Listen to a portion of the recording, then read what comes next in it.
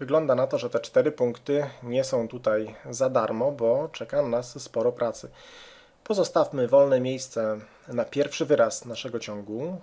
Po nim mamy kolejne wyrazy aż do dziewiątego, nic o nich nie wiemy. Wyrazu dziesiątego również nie znamy, ale wiemy jak możemy ten wyraz zapisać. To jest 10 razy pewna niewiadoma x plus 2. Na szczęście znamy w pełni wyraz 11, to jest 80, po którym następuje wyraz 12 i 13. Oba wyrazy są zagadką jeszcze w tej chwili dla nas.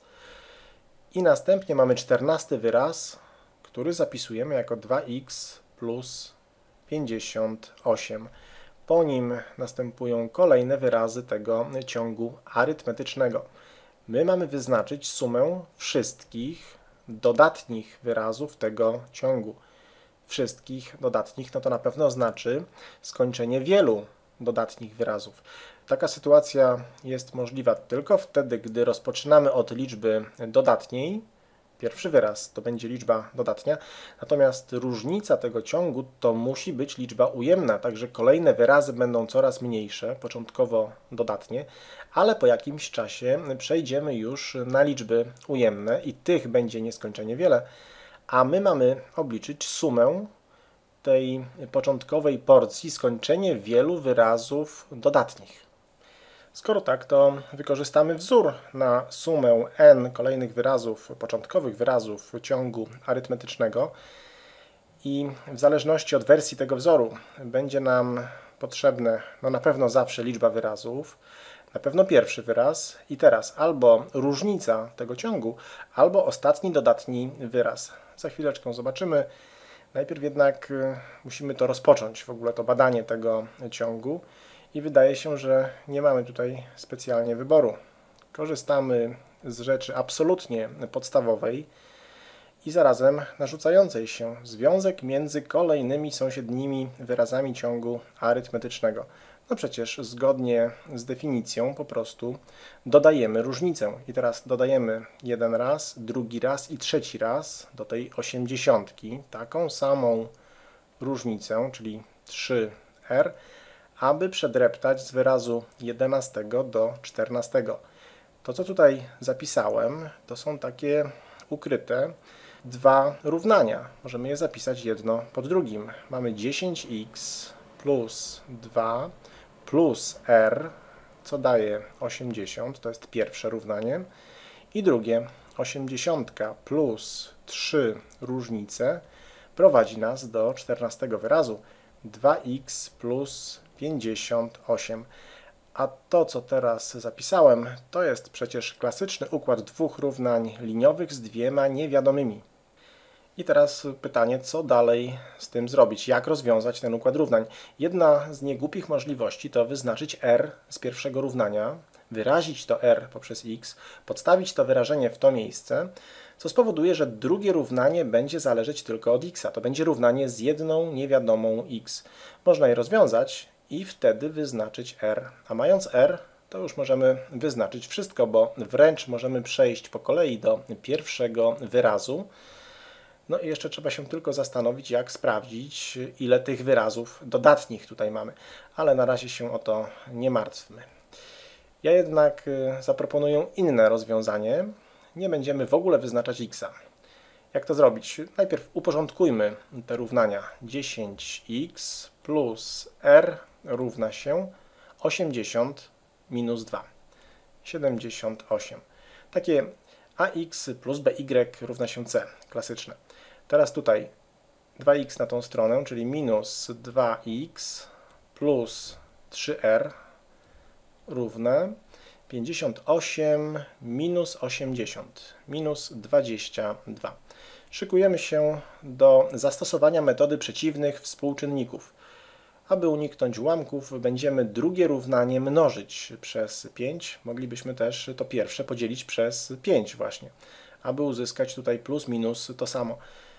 Jednak nie chcemy ułamków, ja zawsze unikam ułamków, więc pierwsze równanie przepisujemy, a w drugim równaniu dostaniemy minus 10x gotowe do redukcji plus, uwaga, 5 razy 3r, 15r, co jest równe minus 110. minus 110. I tak jak to w metodzie przeciwnych współczynników dodajemy, x znikają, dostaniemy 16r równe, tutaj mamy 22 do 100 i jeszcze 10 minus 32. To by dawało po łatwym podzieleniu przez 16r równe minus 2. No spodziewaliśmy się liczby ujemnej, minus 2, bardzo dobrze. Czyli poruszając się w prawo, będziemy dodawać minus 2, czyli odejmować dwójkę. Tutaj będzie 78, tutaj będzie 76 i tak dalej. A poruszając się w tą stronę, my odejmujemy r, czyli dodajemy dwójkę. I teraz y, ja nie potrzebuję żadnego wzoru, aby zobaczyć pierwszy wyraz. Tu jest A1, tutaj przypomnijmy, to jest y, jedenasty wyraz, czyli A11. I teraz tak sprytnie zobaczmy, jaka jest różnica indeksów. 10, 11 minus 1 to 10, więc ja dziesięciokrotnie będę dodawać dwójkę. Dodam 20 do 80, to oznacza, że pierwszy wyraz jest równy 100. Jeśli kogoś takie pamięciowe odejmowanie przeraża i w stresie, czy też pod presją pisania matury mu to nie wyjdzie, to jest recepta. Możemy wszystko elegancko zapisać. Pierwszy wyraz to jest wyraz jedenasty, bo ten znamy, minus ile? No oczywiście 10 różnic to 10, to 11, ta jedynka, to jest wszystko ze sobą powiązane, konkretnie 1 to jest 11 minus 10, to zawsze działa. W drugą stronę mamy A11 równe A1 plus 10R, 11 to jest 1 plus 10. Możemy w ciemno wykonywać takie rachunki, to zawsze działa. Pozostało jeszcze stwierdzić, ile dodatnich wyrazów ma ten ciąg. Potrzebujemy to do wzoru na sumę. To można rozwiązać wręcz w pamięci. Rozpoczynamy od 100 i dodając r odejmujemy dwójkę, więc proponuję już samodzielnie sprawdzić, ile tych liczb będzie dodatnich.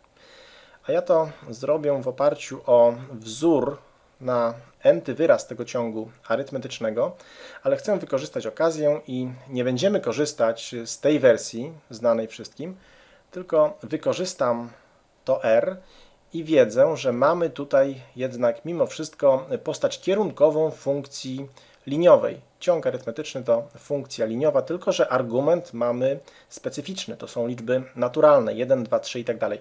Czyli mam zamiast ax mam r razy n, zamiast x jest n. No i jeszcze coś, czego nie znamy, taki wyraz wolny b, który jest korygujący. Zaraz go wyznaczymy bardzo prosto, bo My znamy pierwszy wyraz, ale powiedzmy pewniejszy jest ten wyraz 11. Może być 11, nie ma problemu.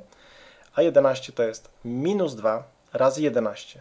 Minus 22 plus nieznane b, co da znane, podane w treści zadania 80. 22 trzeba dodać, więc b jest równe 102.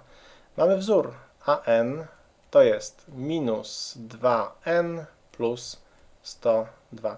Sprawdźmy. Pierwszy wyraz. Minus 2 plus 102. Faktycznie wyszła stówka. I teraz uwaga, pytanie o liczbę dodatnich wyrazów możemy sprowadzić do takiej matematycznej nierówności. a n jest większe od zera. Rozwiązując taką nierówność, odpowiadamy na pytanie, jakie numery wyrazów dają nam same wyrazy dodatnie. Czyli krótko mówiąc, dowiemy się, ile jest tych dodatnich wyrazów. Rzecz jasna, możemy to zrobić na piechotę, patrząc na to. Możemy to, już mówiłem, zrobić w pamięci tutaj, ale chcę pokazać taką metodę czysto techniczną, taką bezmyślną w zasadzie. Co to jest AN? No to jest minus 2n plus 102, to jest większe od zera, czyli minus 2n jest większe od minus 102. Uwaga, dzielimy obie strony przez minus 2n i tutaj zmieniamy zwrot nierówności, jak zawsze przy dzieleniu przez liczbę ujemną. 102 na 2 to daje nam 51. Teraz uważajmy, n, czyli numer wyrazu, musi być mniejszy od 51, czyli n jest mniejsze bądź równe 50. Wszystkie numery od 1 do 50 gwarantują nam an większe od zera. 50 takich wyrazów mamy. No i ciekawe, komu tak wyszło. Tutaj możemy to stwierdzić wręcz na palcach, to może zróbmy to szybciutko. Ile razy trzeba od 100 odjąć y, dwójkę? No, trzeba odjąć 50 razy, aby dojść do zera, ale my chcemy mieć wyraz ten przedostatni, nie 0, dodatni, czyli 49 razy. Ale robimy to od A1, więc no klasycznie A1 plus 49 razy R to daje nam właśnie 50 wyraz. Wyraz 50 jest ostatni, dodatni. W tej sytuacji mamy po prostu wyznaczyć S50 i korzystamy z tej drugiej wersji. 2 razy pierwszy wyraz, 2 razy 100, dodać n-1, 50 minus 1, czyli 49 razy minus 2, to jest razy, co dzielimy przez 2 i mnożymy przez liczbę wyrazów, czyli uwaga, przez 50. Tutaj mamy podwójne skrócenie, od razu to zróbmy, ale podwójne. Oczywiście nie wolno skrócić tylko tych dwójek. Ta też, tu mamy minus 1, czyli będzie minus 49. 100 minus 49 to by dawało 51. Mamy 51 razy 50. Ile to będzie? 50 razy 50 to jest 2500 i jeszcze 50, także mamy 2550. Oto wynik